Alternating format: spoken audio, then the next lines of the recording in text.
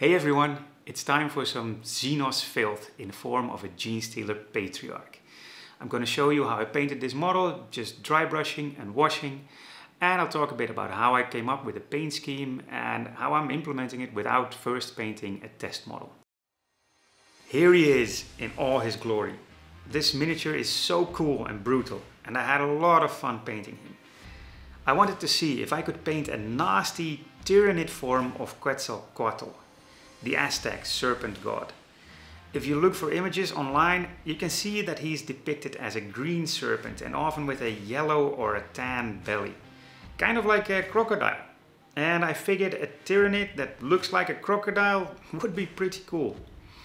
But instead of the vibrant colors that you usually see in fan artwork of the Aztecs, I wanted to go for a more muted and natural palette. A full list of all the paints I used in this video is in the description below, so check that out if you want to see what I used. Now as usual, I primed the miniature with black and I gave it a zenithal highlight with white primer. I then dry brushed the armor plating with Death Korps Drab. This is a desaturated dark olive grey green color and it's a great starting point for any muted green paint scheme. This is what he looks like after the first dry brush. Then I dry brush the edges of the armor with Ionrach skin. This is a bone color but with a slightly desaturated greenish tint. And it's perfect to give highlights to the dark green armor plates and will make it look bony at the same time. Here's what he looks like after that second dry brush. So now I wash the armor plates with Athonian Cammoshade. This is a desaturated green wash and it's perfect to blend the two base layers together. It will still leave some of the dusty streaky that you get when you dry brush and that's exactly what I want. I want this to look like rough bone because that will contrast nicely later on with the smoother skin. The wash takes a while to dry, so I'm going to do the base layer of the pipe that this Genestealer Patriarch is standing on. I just cover it all in typhus corrosion, but I dab it on rather than paint it on like you would with a normal paint. This is so that the little grains that are in this texture paint get spread randomly and you don't sweep them all into one place. Now that the wash is dry, it's time for the final highlight of the armor plates.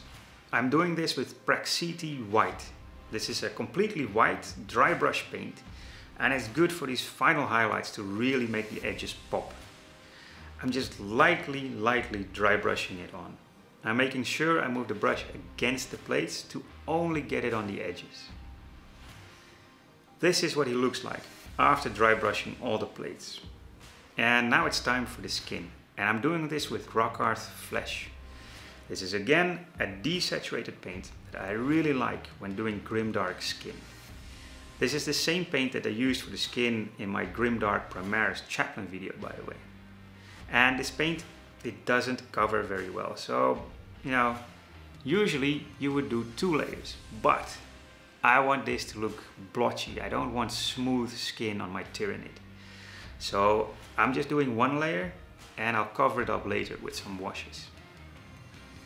So here's the Patriarch after all the skin is painted. I don't know exactly what color I want to do the claws and the ridge on his spine. But now that I have the other base colors done, I can experiment and try some paints. So I'm considering either red or black. And I'm starting with black on the front claws. And I immediately think that this is the right choice. It just clicks. The wet black paint looks amazing, so I'm going to stick with black. And I think that if I had gone red, the ridge on his back might have made him look too much like some terror chicken anyway. Here he is with all the major parts of the model painted in the base colors. I'm quite happy with how he's looking so far.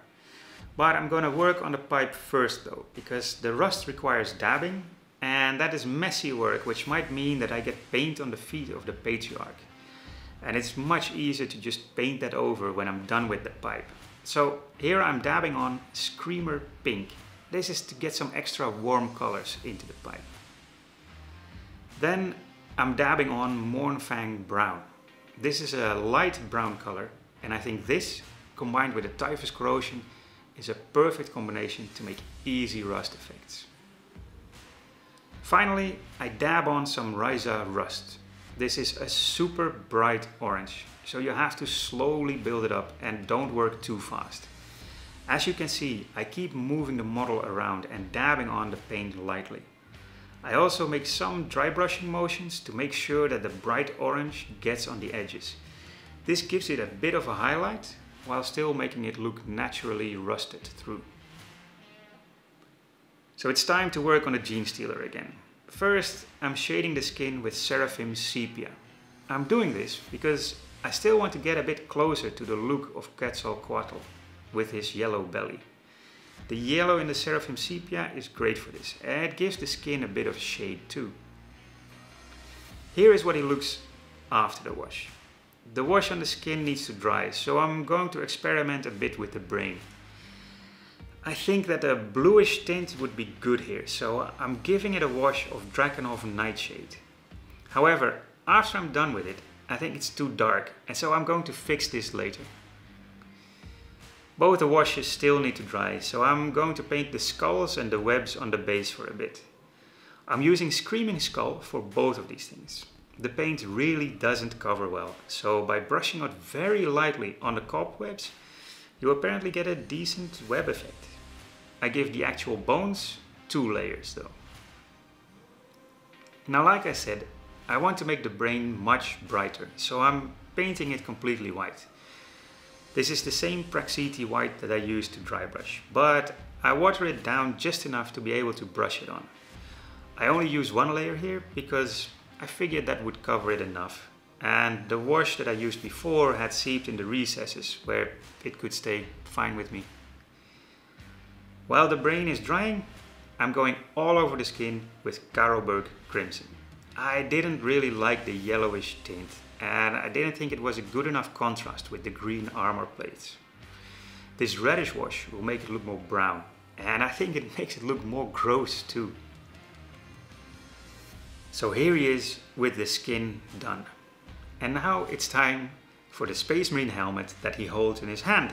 And as you can see, I managed to turn the model exactly in such a way that you can't see me paint it. I'm sorry, it happens. I'm still starting with this YouTube channel.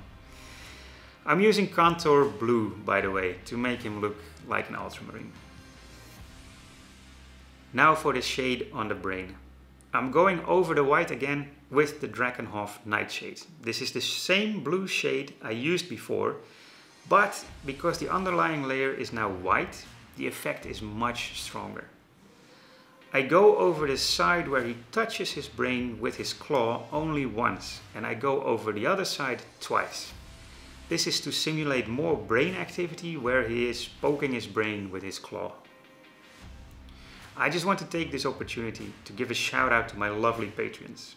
Your support makes this channel possible. If you like this video so far, then you can support me too by giving it a like. That would really help me out. And you can find links to my website, Instagram, Facebook, and of course Patreon in the description below. Now here we go. He is starting to look nasty and lethal. I did his tongue in the same way as the brain to get that popping out a bit more as well. And now to finish the base, I'm going over the skulls with Seraphim Sepia. This will make the bones look nasty, old and dirty. Remember when I was painting the claws black and I said I liked the look of the wet paint? So I'm going to recreate that effect by painting over the nails with 'Ardcoat, which is Games Workshop's gloss varnish. This will make them look shiny and almost like obsidian talons. I'm making a little jump forward in the steps that I took to show you that I painted the brain and the tongue with 'Ardcoat as well. This will make them look wet and I think that effect is great. This way the model has a lot of different textures that contrast with each other. You have the rough pipe, dusty and bony armor plates, smooth skin and slick wet talons and the brain. This makes the model look a lot more interesting than if you keep it all the same texture. So time to finish up the model with some basing and blood effects. I'm starting with Stirland Mud and I cover the whole base in it. I also use this to smoothen the transition between the base and the pipe that it's on. Just smear some of the paint onto the pipe and you'll cover up the seam. I like to paint my miniatures as if they had at least seen a little bit of combat already. So it's time for blood effects. Here I'm dabbing on some Khorne red on the Space Marine helmet that he's holding and on the talons of his claws and the spike that's on his tail. I'm dabbing some on the ground as well.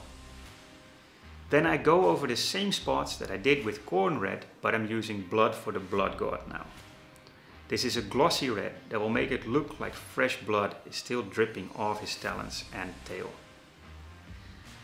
To finish the base, I just glued on some more rusty Space Marine shoulder pads and a helmet to fill out the base and I glued on some patches of scorched grass from Geek Gaming Scenics to finish it off. I covered some of the blood effects with this, but I went over it again with the same blood effect that I did before. Some Khorne red and some blood for the blood god. This was such a fun model to paint and I will definitely paint more Xenos in the future videos. I like the different textures that I can work with. There are wet parts, dusty parts, smooth parts, and it all makes the model look so much better if you can get different textures on the same miniature. I wanted to thank you for watching this video and please give it a like if you enjoy this and leave a comment below if you want to see me paint a specific miniature in a certain paint scheme.